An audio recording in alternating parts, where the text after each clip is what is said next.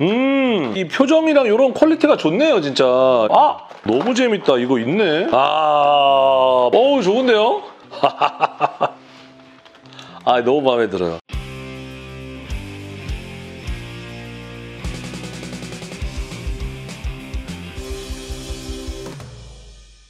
네, 상추들 반갑습니다. 오늘 어떤 녀석 보여드릴 것인가 아주 익숙한 박스들이 또 앞에 잔뜩 있습니다. 반다이 SHF 시리즈 드래곤볼, 드래곤볼 Z 위주로 8편을 소개를 해드렸었더라고요. 이상훈 TV에서는 마지막 시간 되겠습니다. 오늘은 드래곤볼의 주인공 손오공 초사이어인 초사이언2 3 베지터가 변신했던 거대 원숭이 오자루까지 한번 보여드리고 최근에 와서 그냥 안 보고 넘어가면 섭섭할 것 같아서 메카 프리저까지 기억나시죠? 이거 홍콩 투어 이거 너무 재밌지 이거 꿀잼 이거 빨리 내려가서 아까 그 메카 프리저 하나 사야겠다.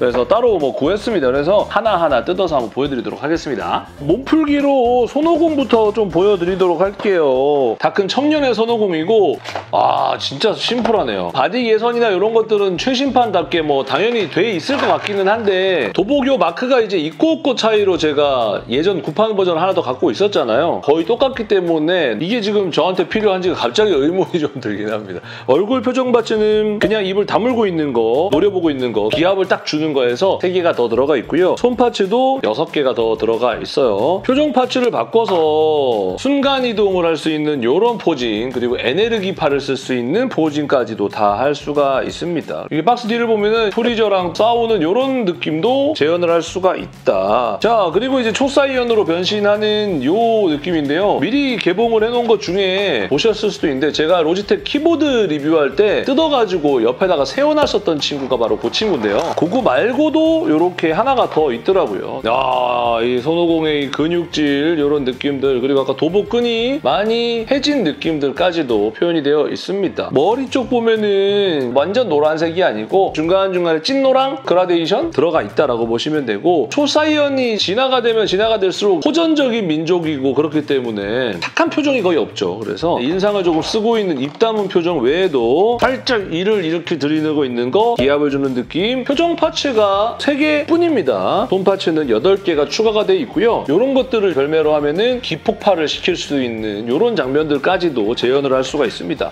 지금 뭐 오자루를 향한 빠르게 빠르게 넘어가고 있는 거 여러분들 느껴지시죠? 초사이언 2입니다. 비교적 최근에 나온 애인데 quality가 좋다 소문이 나 있습니다. 음 역시나 이렇게 배춧잎 싹인 effect parts가 하나 더 들어가 있고 본체가 들어가 있는데요. 아 이거 링이 이미 달려서 나왔네요. 초사이언 1까지 하고 죽잖아요, 그쵸? 그 전에 한번 죽었지만 다시 살렸는데 이제 두 번 못 살리니까 무슨 의미니? 이거 링만 달면 계속 나오는데 무한대로. 아무튼 앞가슴만 살짝 damage를 입은 듯한 느낌이고요. 노란색 머리가 광이 조금 들어가 있는 느낌이 좀 있죠. 표정 파츠가 역시나 세 개가 더 들어가 있는데요.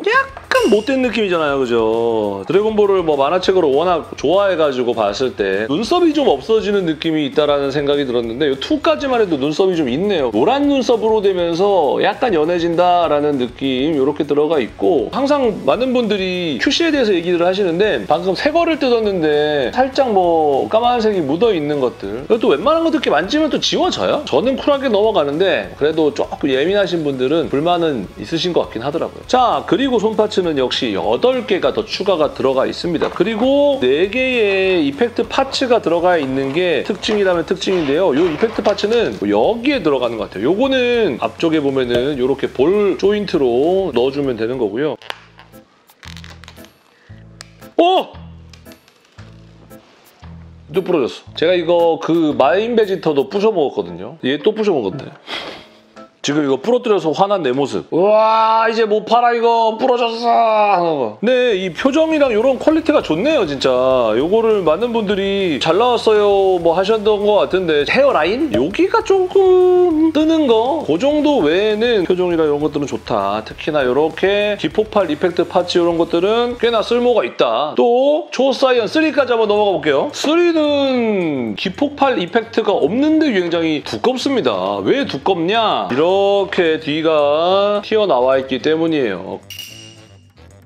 오 스탠드도 들어가 있습니다. 아 이때부터는 그지 눈썹이 이제 없어. 눈썹 이 여기 라인이 조금 이렇게 나옵니다. 너무 좋죠. 제 기억이 맞다면 마인부에게 처음 이 모습을 공개를 하죠. 초사이언 3로 변한 이 모습 카리스마 있죠. 그래서 이렇게 허리를 잡아주면은 공중에 뜨는 포징도 할 수 있을 것 같습니다. 여기는 이제 손파츠가 추가로 두 개가 더 들어서 12개의 손파츠가 들어가 있고 표정 파츠 3개가 추가인데요. 오른쪽을 바 라보고 있는 눈, 인상을 좀 쓰고 있는 거, 입을 벌리고 있는 거. 기본 표정 자체가 석소네요. 이거는 이제 앞머리랑 따로 아니고 붙어 있어서 같이 붙였다 뗐다 해주면 됩니다. 오히려 나는 이렇게 약간 무표정으로 한쪽 방향 쳐다보는 게 더 멋있는 것 같기도 하고요. 여기까지 완벽하게 붙지는 않는 머리네요. 이게 실제로 머리가 좀 무겁습니다. 그래서 뒤에 요 관절이 좀 있는 것 같은데 layer가 3개예요. 얼굴이랑 결합되어 있는 앞머리 parts, 본체 가운데 머리, 뒤에 요 꽁지 머리 긴 거, 그리고 좀 내리면은 얼굴이 이렇게 들리는 느낌.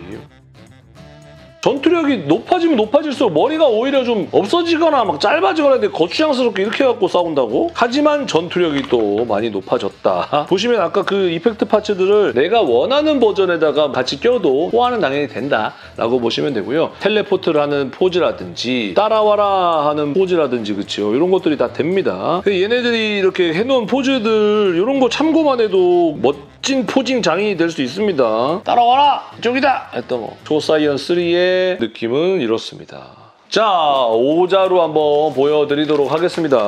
핫토이 박스보다도 큰게 엄청난 크기를 자랑하고요. 여기도 써 있습니다. 거대 원숭이는 31cm나 됩니다. 얘가 원래는 더 커야 됩니다. 거의 50cm 가까이 돼야 아마 맞을 거예요. 이 초사이언들은 이제 본인의 전투력을 극대화시키기 위해서 달보다 훨씬 센 가짜 달을 가지고 다니잖아요. 그래서 얘가 변신하고 변신을 해도 정신을 잃지 않는 아 이거 베이스도 이렇게 들어가 있네요. 음 그냥 베이스예요. 뭐 아무것도 없습니다. 그냥 까맣습니다. 오호호호. 아 뭔가 클립 관절로 들어가 있고 오자루 하체를 받치는 느낌 그렇죠? 약간 기저귀 채우듯이 원숭이 꼬리처럼 생겼지만 알 수 없는 요 파츠가 하나가 더 들어가 있고요. 그러면 아래층은 끝이고 위층 한번 볼게요.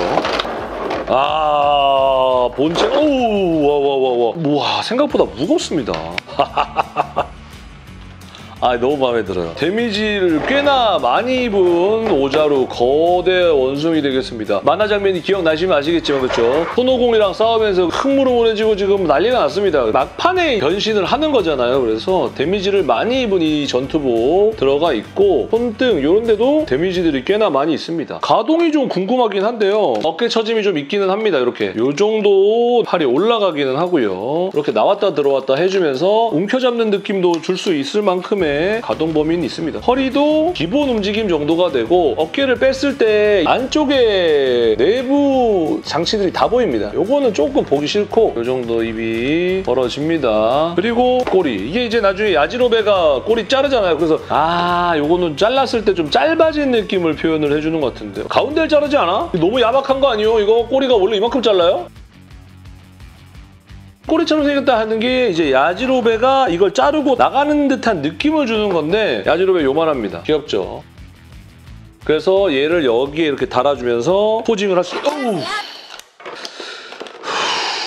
이렇게 뭔가 잘리는 느낌을 줄 수 있다. 조금 아쉬운 점이라면 여기가 조금 clear parts로 돼 있었으면 조금 더 실감나는 날라서 자르는 느낌 유일하지 않습니까? 이게 사실 야지로베가 어디 가서 이렇게 hard carry 합니까? 그래서 아까 말씀드린 게 야지로베가 요만하잖아요 지금. 아까 손오공 같이 비교를 하면 하체까지는 온단 말이죠. 원래로 따졌을 때는 거의 아우 진짜 씨 얘가 지금 하체 운동을 안 했어. 부실합니다. 그래서 이제 크기 자체로 봤을 때는 오히려 두배 가까이는 커져야 맞다. 같이 두면 오히려 스케일은 안 맞는 거. 물론 그때 보여드렸었던 신용이나 호rum과 뭐 이런 거랑 비슷하게 사이즈만 키워놨지 맞는 사이즈는 아니다. 이렇게 보시면 될 것 같아요. 손파츠는 이렇게 펼친 손 외에 주먹진 손이 하나가 있고요. 손가락을 가리키는 게 하나 있습니다. 아주 미니미한 손오공 이렇게 지금 양쪽 손에 포박되어 있는 비명을 지르고 있는 요 손파츠가 하나가 더 들어가 있어요. 어우 좋은데요?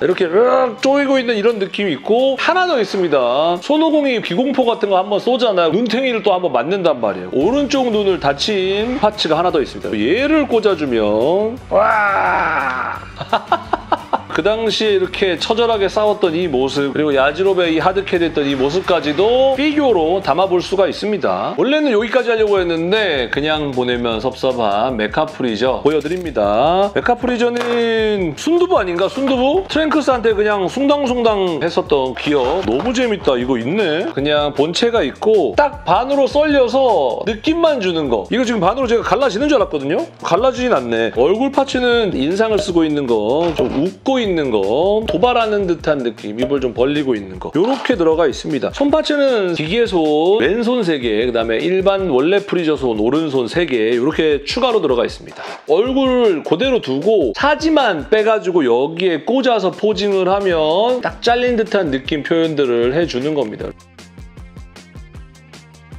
아, 이런 것들도 뭐 posing할 수 있는 재미 요소들이 좀 있네요. 자, 이렇게 해서 오늘은 드래곤볼 SHF의 손오공 4개, 오자루, 메카 프리저까지 한번 보여드려 봤습니다. 지금까지 모아놓은 애들을 여러분들께 보여드리는 시간은 오늘이 마지막 시간이었다라는 걸 다시 한번 말씀을 드리면서 보고 싶은 피규어 있으면은 여러분들도 댓글로 마음껏 남겨주세요. 자, 그럼 저는 다음 시간에 다시 하도록 하겠습니다. 여러분, 안녕히 계세요.